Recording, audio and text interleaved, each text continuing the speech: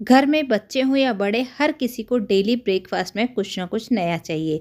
इसी बात को ध्यान में रखते हुए आज आपके साथ शेयर कर रही हूँ एकदम यूनिक बहुत ही टेस्टी हेल्दी नाश्ता रेसिपी जिसे आप बहुत ही आसानी से बनाकर तैयार कर सकते हैं। तो इसके लिए सबसे पहले आपको एक बड़ा बर्तन लेना है और इसमें आपको डाल देनी है एक कप सूजी। सूजी बारीक मोटी जो भी आपके पास हो वो आप ले सकते हैं। इसमें आप डाल दें आधा चम्मच नमक। और इसमें आप घी या ऑयल कुछ भी डाल सकते हैं मोयन के लिए। तो यहाँ पर मैंने एक चम्मच घी को पिघला कर इसमें डाला है। अब इसे बहुत अच्छे से आपको मिक्स कर लेना है और इसे मिक्स करने के बाद अब आप इसमें डालेंगे पानी और पानी डालकर इसका डो लगाकर तैयार करेंगे। थोड़ा थोड़ा पानी डालते जाएँ, बहुत अच्छे से इसे डो लगाकर तैयार करते जाएँ। तो यहाँ पर जो सूजी है वो थोड़ा ज़्यादा पानी लेगी क्योंकि सूजी पानी को सोख लेती है। तो यहाँ पर देखिए हमने एक डो लगाकर तैयार कर दिया बहुत ज़्यादा हार्ड नहीं है डो। सॉफ्ट थोड़ा इसलिए लगाया है क्योंकि इसे रेस्ट पर रखेंगे तो ये थोड़ा हार्ड हो जाएगा। सूजी पानी को सोख लेगी। इसे ढककर रख देते हैं दस मिनट के लिए। अब यहाँ मैंने गैस पर एक पैन रखा है और इसमें मैंने दो चम्मच ऑयल डाल दिया है। ऑयल को गर्म होने दें और जब ऑयल गर्म हो जाए तो आप इसमें आधा चम्मच ज़ीरा डाल दें। और जैसे ही जीरा तड़कने लगे, आप इसमें दो पिंच हींग डाल दीजिए और दोनों चीज़ों को अच्छे से आप भून लीजिए। ये नाश्ता इतना ज़्यादा टेस्टी बनता है कि आपके घर में ये सबको पसंद आएगा और साथ ही ये बहुत ही हेल्दी भी है नाश्ता। यहाँ पर मैंने एक बड़े साइज़ के प्याज को बारीक कट करके लिया है, ये इसमें डाल दिया है और इसे मीडियम फ्लेम पर आप थोड़ा भून लेंगे। इसे लाइट गोल्डन ब्राउन होने तक आपको भूनना है। तो अगर आप प्याज नहीं खाते हैं तो बिना प्याज के भी नाश्ता तैयार किया जा सकता है ये। अब यहाँ मैंने आधा चम्मच लहसुन इसमें डाल दिया है और आधा चम्मच अदरक डाल दिया है। अदरक और लहसुन दोनों को मैंने घिस कर लिया है। आप चाहें तो अदरक, लहसुन पेस्ट इसमें डाल सकते हैं। इसे बहुत अच्छे से मिक्स करेंगे और प्याज के साथ ही थोड़ा सा भून लेंगे। अब यहाँ पर देखिए हमारा प्याज, अदरक, लहसुन सब कुछ भून के हो चुका है तैयार तो इसमें जा रहे हैं मसाले। आधा चम्मच हल्दी पाउडर डाला है, आधा चम्मच लाल मिर्च पाउडर डाल दिया है।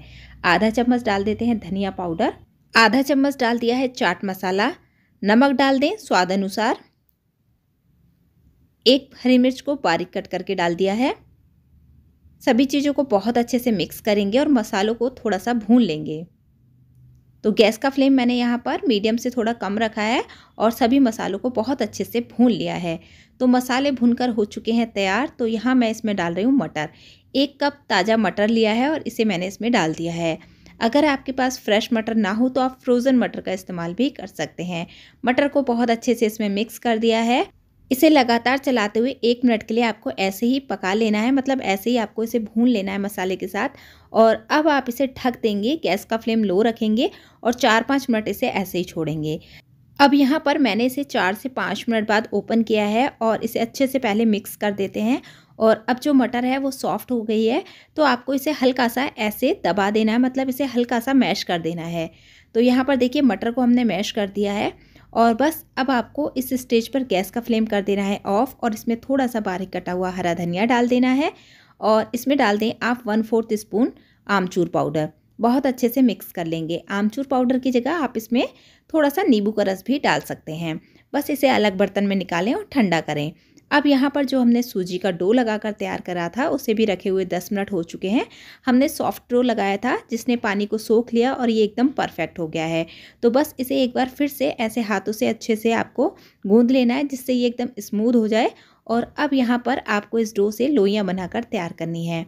तो ये देखिए, इस तरह की लोइयाँ आपको बनानी है। जिस तरह आप चपाती बनाते हैं ना, वैसी लोई बना लें।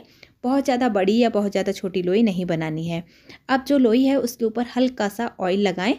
यहाँ आपको सूखा आटा नहीं लगाना है और हल्का सा ऑयल लगाकर अब आप इसे बेल लेंगे। आपको इसकी एक बड़ी सी चपाती बेलकर तैयार करनी है। तो यहाँ पर आपको इसे थोड़ा पतला ही रखना है, बहुत ज़्यादा मोटा नहीं रखना है इसे। तो ये देखिए, हमने एक बड़ी सी चपाती बेलकर तैयार कर ली है। तो अब आपको क्या करना है? कोई भी कटोरी या ग्लास लेना है और इससे आपको इस तरीके से गोल गोल ये पूरियाँ कट करनी है। इस तरह जब आप कोई कटोरी गिलास से इसे कट करेंगे तो नाश्ता एक ही साइज़ का बनके तैयार होगा। आप चाहें तो कुकिंग कटर का इस्तेमाल भी कर सकते हैं। तो अब ये जो एक्स्ट्रा डो है, इसे आपको हटा देना है, उसी डो में लगा देना है। अब आप इसी तरह पहले सारी पूरियाँ बनाकर तैयार कर लें और अब आपने जो मटर का मसाला बनाकर तैयार किया है ना, वो आपको इसके अंदर रखना है। तो लगभग आधा से एक चम्मच के करीब ये मसाला इसके अंदर रखेंगे इस तरीके से। और उसके बाद अब आपको क्या करना है, एक दूसरी पूरी को उठाना है और इस तरह इसके ऊपर रखना है। और इस तरीके से आपको फिंगर से इसे बहुत अच्छे से दबा देना है। ये देखिए, इस तरीके से इसके जो किनारे हैं, उन्हें आप आपस में बहुत अच्छे से चिपका देंगे। तो ये देखिए, इसी तरीके से आपको सारे पीसेस बनाकर तैयार कर लेने हैं। और अब यहाँ पर मैंने एक कढ़ाई में पानी गर्म करने रख दिया था। पानी अच्छे से गर्म हो गया है, इसमें उबाल आ रहा है। अब ये मैंने इसके ऊपर जाली रख दी है।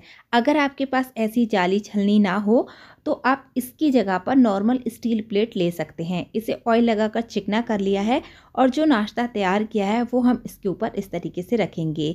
इसे हम स्टीम करने वाले हैं। इसे हम फ्राई नहीं करेंगे, बहुत ही हेल्दी बनाकर तैयार कर रहे हैं हम इसे। तो यहाँ पर इसे रखने के बाद ढक दें और मीडियम फ्लेम पर पंद्रह मिनट के लिए इसे ऐसे ही छोड़ दें। पंद्रह मिनट में ये नाश्ता तैयार हो जाता है। तो यहाँ पर पंद्रह मिनट हो चुके हैं, अब मैं इसे ओपन कर रही हूँ और ये देखिए, बहुत ही बढ़िया तरीके से फूल चुका है और एकदम बढ़िया तैयार हो चुका है। अब इसे निकालें और इसे ठंडा होने दें और जब ये नाश्ता ठंडा हो जाए तो अब आप इसे सर्व करें। तो मैं आपको इसे कट करके दिखा देती हूँ। ये देखिए, बहुत ही बढ़िया बना है। नाश्ता बहुत ही अच्छी तरीके से स्टीम हो चुका है। अब आप इसे सॉस या चटनी के साथ खाएँ, ये बहुत ही डिलीशियस लगता है, हेल्दी, टेस्टी, बहुत ही बढ़िया है।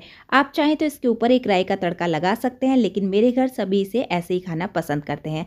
आपको नाश्ता पसंद आए तो लाइक, कॉमेंट, शेयर करें, चैनल को सब्सक्राइब करें।